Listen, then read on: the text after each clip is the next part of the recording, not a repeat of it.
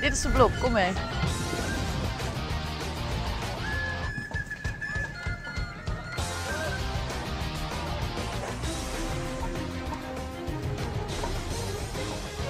Ah, kijk wat een uitzicht. Nou, het is leuk om hier te blijven staan, maar om nou naar beneden te springen, dat is wel de bedoeling. Eentje voorop, tweede hier springen en dan word je gelanceerd naar de maan.